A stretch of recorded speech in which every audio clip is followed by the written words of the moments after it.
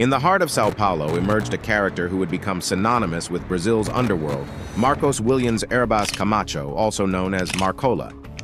Born in 1968 and orphaned at nine, he wandered the streets, earning his moniker Marcola from his love for a notorious Brazilian glue. Little did anyone know, this glue-sniffing street kid would rewrite the script of crime in Brazil. Bank heists, prison escapes, and a taste for luxury, Marcola's legend grew.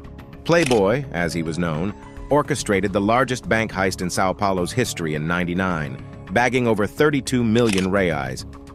Behind bars, he became the PCC's puppet master, running the show from prison.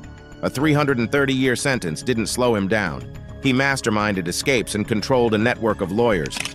Under his leadership, the PCC evolved into a sophisticated criminal organization involved in drug trafficking and arms deals.